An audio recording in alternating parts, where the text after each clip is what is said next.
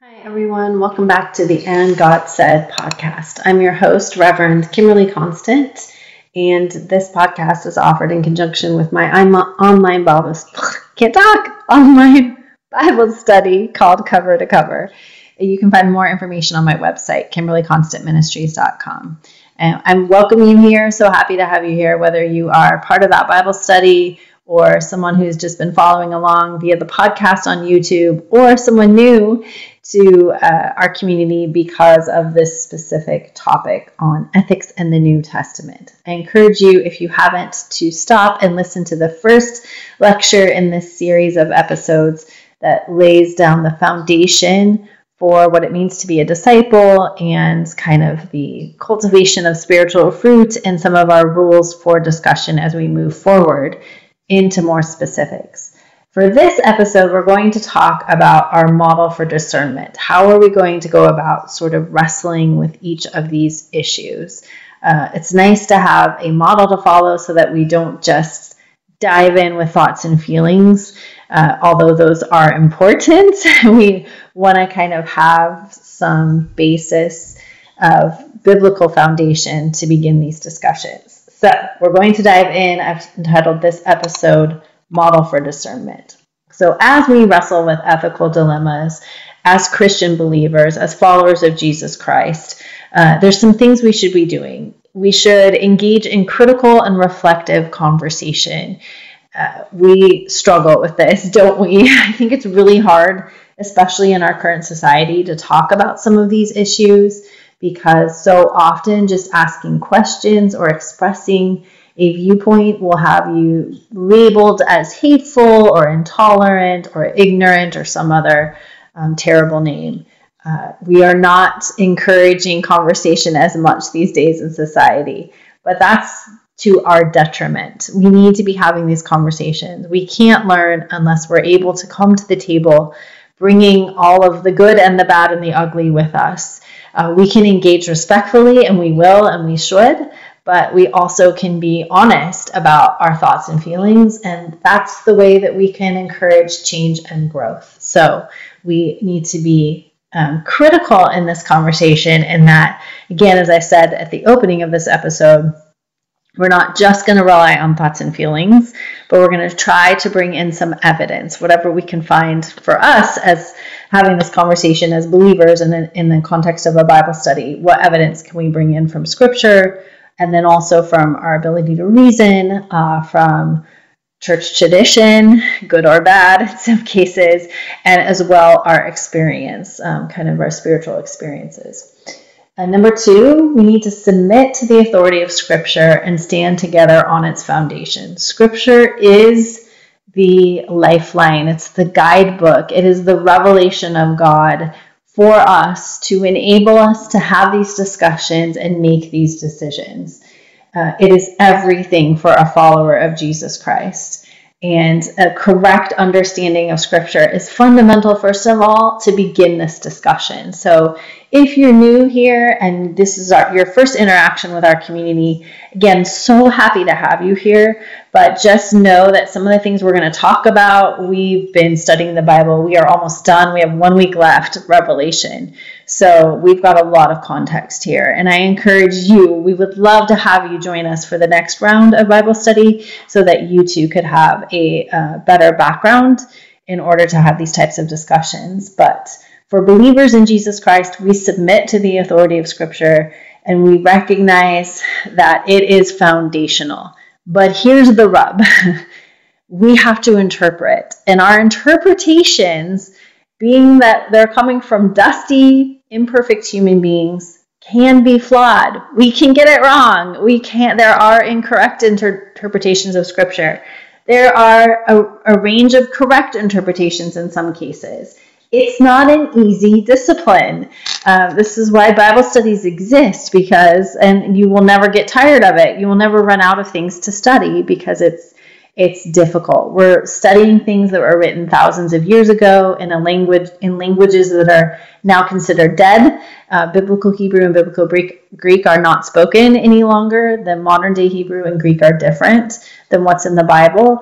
Uh, we have context that's missing, especially in the New Testament, where these are a lot of the books are letters. So we don't have the context that began the letter in the first place. So there's a lot of holes in communication that we have to fill in in order to do our interpretive work.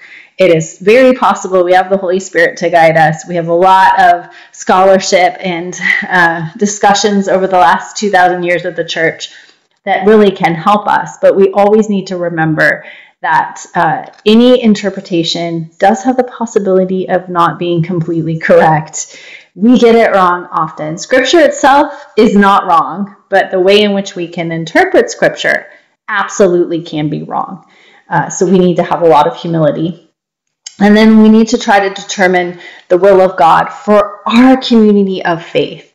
Uh, the bigger and broader we get in terms of trying to discern an ethical course of action for like the entire world is going to be a lot more difficult than trying to determine an ethical course of action for the 20 people with whom we do life on a daily basis.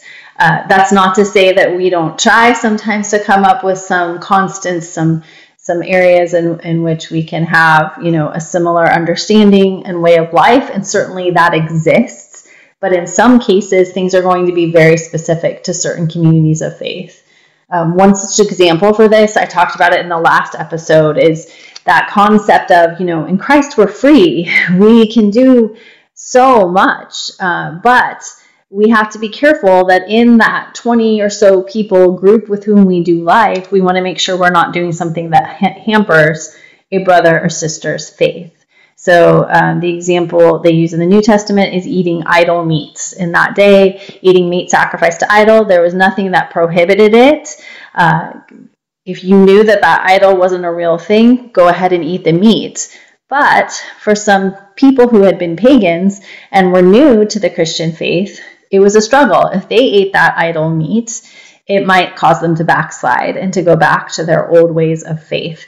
And so the Apostle Paul, for instance, in one of his letters says, uh, Don't eat the meat if it's hurting a brother or sister. And Paul says, goes as far as to say, I'll never eat meat again if it means that a brother and sister or sister in faith can walk a little stronger. So that's what I mean for discerning some things in our community of faith.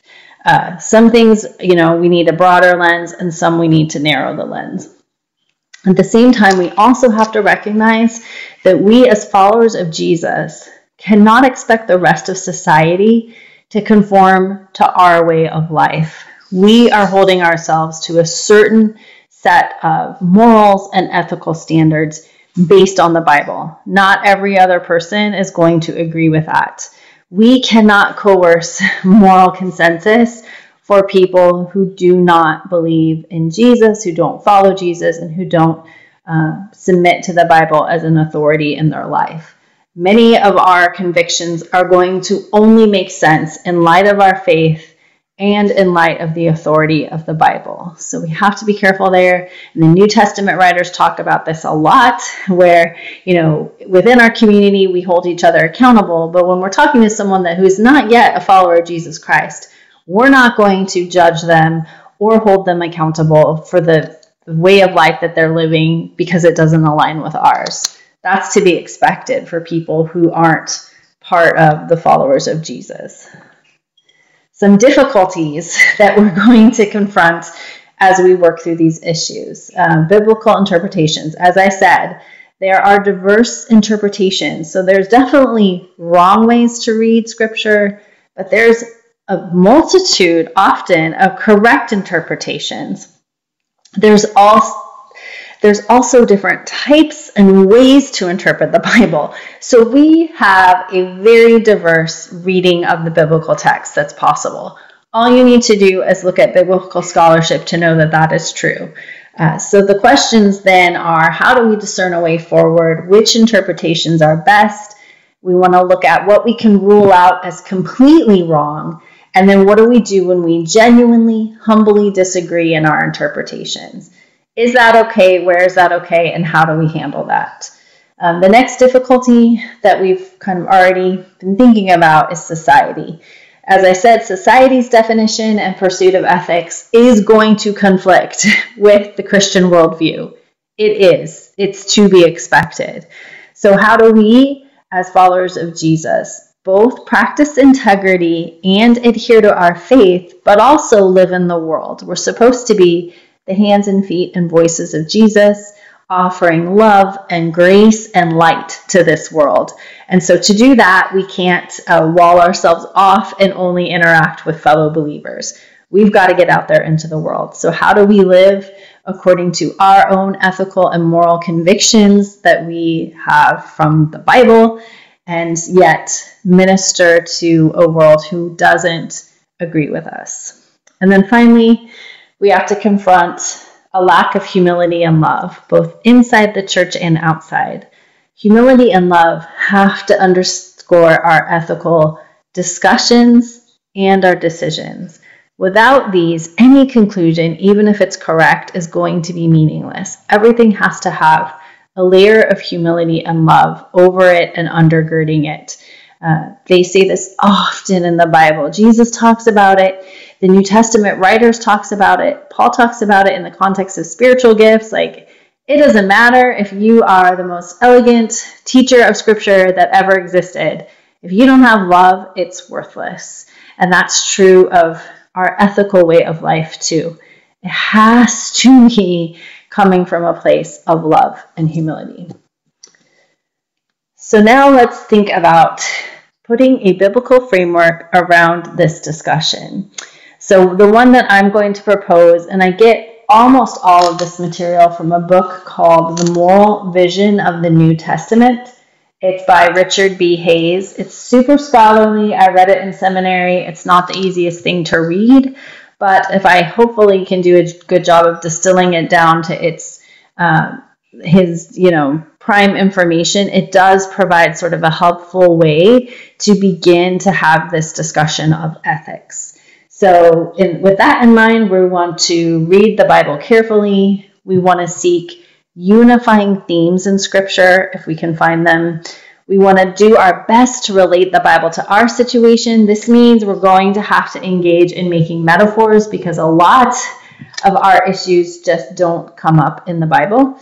And then finally, we need to live out the Bible text. Um, Hays wrote, No true understanding exists apart from lived obedience. We live out scripture in the life of our Christian community and in the life of going out into the world and being the hands and feet of Jesus Christ. Uh, as I said in the last episode, the first episode in this uh, ethical series, um, you know, nothing can be done apart from community. Discipleship is enacted in community. And that makes it messy, but let's think it also makes it fun, right? That's the good challenge. We've got to figure out how to do this together.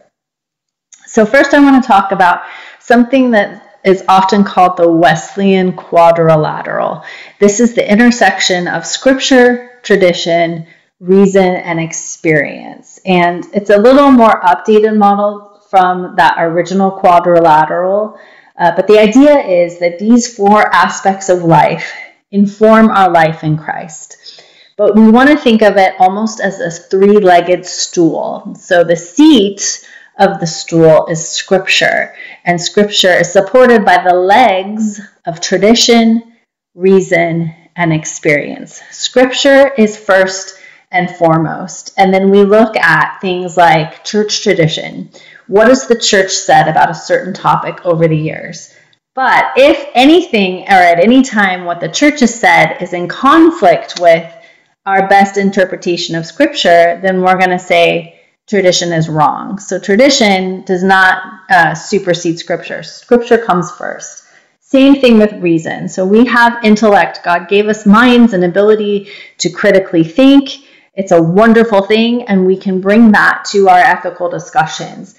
But again, if there's anything that we derive from our ability to reason that conflicts with our best best attempt to understand scripture, then we're going to go with scripture. Where there's conflict, scripture comes first. And the same is true for experience. So experience is, you know, the spiritual, the movement of the Holy Spirit. And this is something that's very much prized in our day and time. Uh, a lot of people go to worship and they'll say, a, a, worship service is good if they feel moved by the Spirit. Uh, we're very into experience, into what I think and feel and believe. But again, as followers of Jesus, we have to take our experience and measure it against the Word of God. And if there's conflict, the Word of God comes first.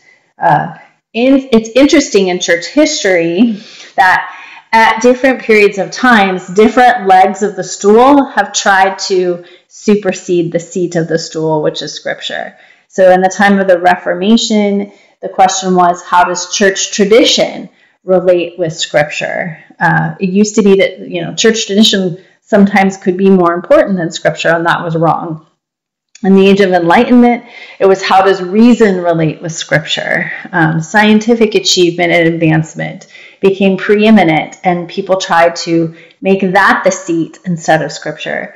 And in our times, as I said, it's often experience. Uh, you know, people say, I had my own interaction with God, I have my own feelings, and they will try to put that over scripture. But again, experience is a leg that supports scripture. Where it conflicts, then we're going to go with scripture. Let's talk about the Old Testament and the New Testament as well, because I've entitled this series Ethics in the New Testament. Uh, when we speak of ethical concerns, we typically are looking at the New Testament, but doing so doesn't mean we're throwing the Old Testament out completely. The New Testament is absolutely based upon the writings and teachings of the Old Testament. So much of it is folded into what we talk about in the New Testament. For an example, um, New Testament teachings on sexual morality regularly draw upon the Old Testament's explicit condemnations of certain activities and relationships. Likewise, in the New Testament, uh, we're encouraged to care for the poor. Guess what? They were encouraged to care for the poor in the Old Testament as well. So there's a, a the New Testament is definitely built upon the Old Testament. Some morals and ethics are not explicitly addressed in the Gospels. So, people, you might hear the argument, well, Jesus never talked about that topic. Yes, that's true, because his ministry was aimed at the Jewish people, and they would have followed the Mosaic law of the Old Testament. So, there were some things that Jesus didn't even need to talk about because it was already understood as being, uh, you know, in conflict with the will of God. When the New Testament goes beyond the Old Testament, when it reveals something new to us, this is often explicitly stated. For instance, this happens in the Sermon on the Mount, where Jesus is talking about some of the Old Testament laws and actually kind of tightening up on them. He'll say things like, Thou shalt not murder, but oh, by the way, if you're angry and you call someone a name or you um, defame someone, you're in a sense murdering that person. So he's got he kind of takes it to a whole new level. But that's typically called out for us when that happens. Uh, Jesus' death, resurrection, and enthronement are absolutely the central action of God for the salvation and redemption of humanity. It's the central action of Scripture. And so, therefore, the New Testament does have special privilege when it comes to ethical decisions. It's the lens through which we look back on the Old Testament. So we are going to privilege what we find in the New Testament, but recognizing that so much of what we find in the New Testament has a basis in the Old Testament. Uh, so there's modes of ethical discourse in the Bible. So in his book, Richard Hays identified four different kind of ways that um, ethics are talked about. The first one, probably the easiest one to recognize, are just out and out rules either direct commandments or pro- prohibitions of specific behaviors. The best example, the Ten Commandments. For example, thou shalt not kill, or depending on your translation, thou shalt not murder. This is Exodus 20:13. That's just a direct statement, black and white, that thou shalt not murder. Of course, what we know from the New Testament is Jesus expands the definition of what that means. But anyway, that's a rule. Then we have something called principles. Hays identifies these as sort of more general frameworks of moral consideration. So his example is the discussion of uh, from Mark 12, where Jesus is saying the most important thing is to love God and love people. Uh, that's not, you know, black and white because there's not that commandment language. He's not saying, thou shalt love God and love people. He's talking in general about the most important commandment. The most important thing we can do is to love God and love people, and everything else flows from that. So that's a principle. Then Hays identifies paradigms. These are stories or accounts of people who model exemplary conduct or sometimes reprehensible conduct. So, an example of this comes from Luke chapter 10, the story of the Good Samaritan. It's a parable that Jesus tells, and it teaches us, um, you know, an ethical course of action. What's the right thing to do? What's the wrong thing to do?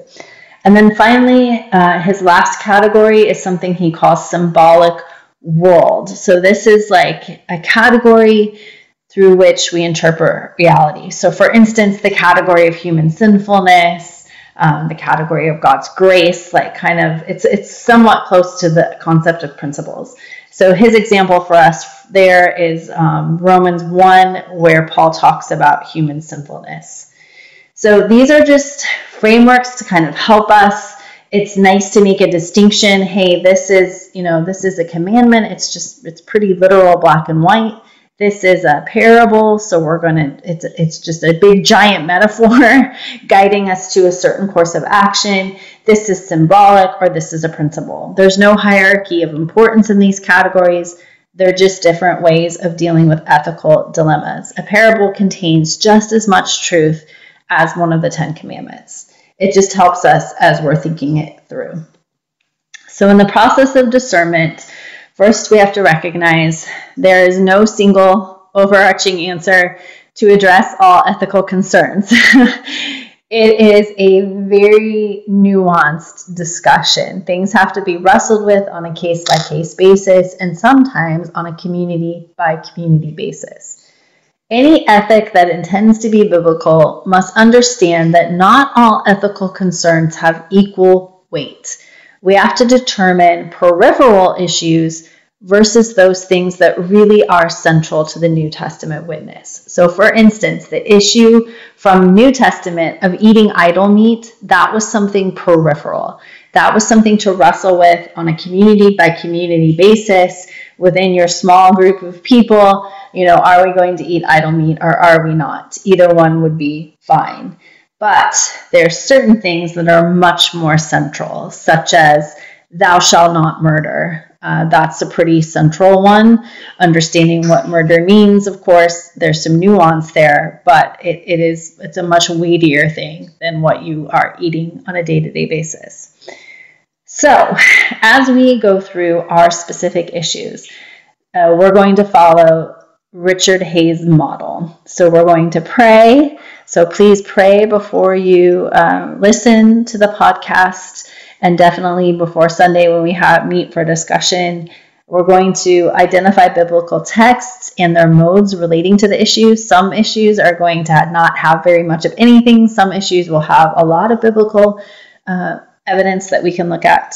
Then we're going to analyze the issue in light of the legs of the stool, so tradition, reason, and experience, and how does that help us wrestle with these thoughts. And then finally, we're going to talk about our conclusions and implications discussed together in the community of faith. This is why I'm encouraging you to email me with your questions and comments uh, because, you know, right now it's one sided. I'm providing you with these episodes, but I do want your input. If you do have specific questions, I'll try to work that in. And certainly, you are welcome to attend our discussion group via Zoom on Sunday.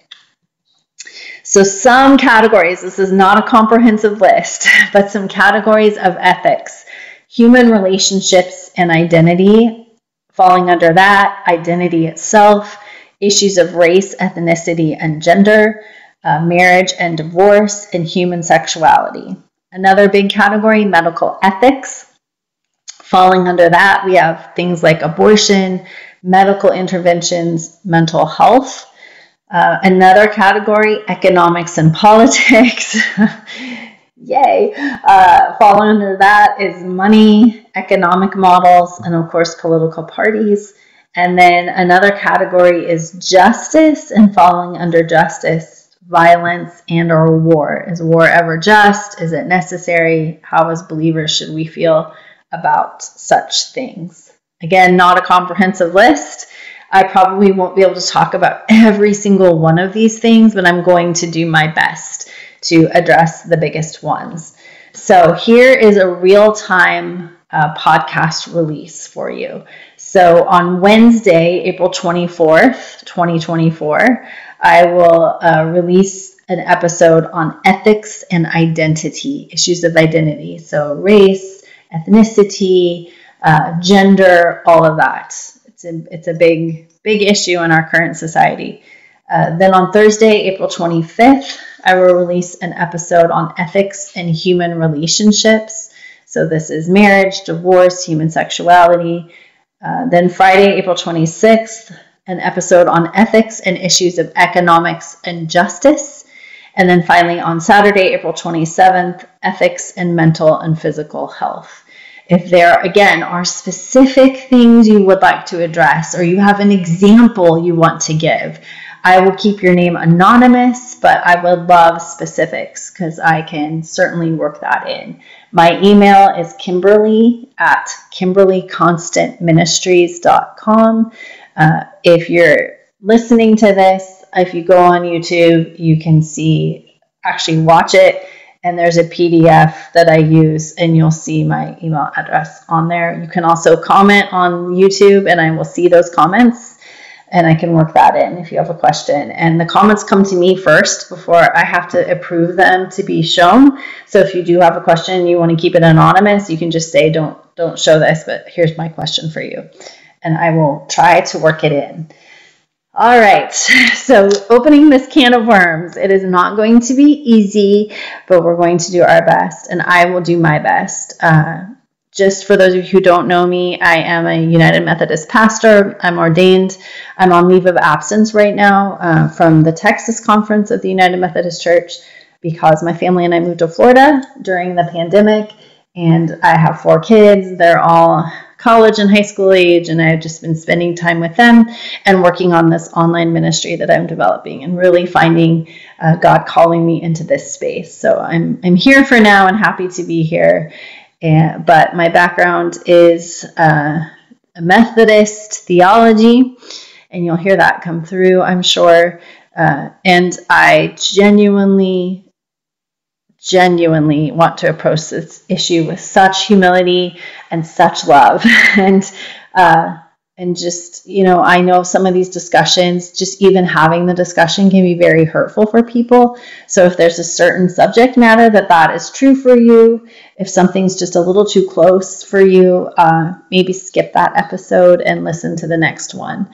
Sometimes you're not in a safe place to have these discussions and that's okay uh, and just know, again, if you disagree with me, it is okay. I welcome that. Please, let's have a conversation. But let's just make sure we're respectful and kind and loving towards one another. All right, friends, I would like to end this episode with a prayer, and then I will be back Wednesday with the release of the first episode on ethics and identity. So please pray with me. Gracious God, thank you so much for the gift of the Bible, of, of Jesus Christ, and the revelations that you've given us that help us to know you better. God, give us grace and humility and compassion. Cultivate a sense of unity and love for one another as we grapple with these difficult questions. God, may we know that we are all hopefully just doing our best and trying our best to follow the feet of Jesus. Um, Lord, thank you that even when we fail, even when we're imperfect, even when our dustiness shows through, God, you are the same yesterday, today, and tomorrow. And you tell us that we are loved unconditionally, that every single one of us has been extended grace and mercy in Jesus Christ, and that you are for us. We are not alone. And if we are believers, we have the power of the Holy Spirit within us to help us in our spiritual journey. So, God, may we enter into this week with humbleness and grace. And thank you, Lord, for this awesome community. In Jesus' name I pray. Amen and amen. All right, everyone, I will see you back uh, Wednesday for our discussion on identity. And again, send me your questions. Thanks so much. Good night.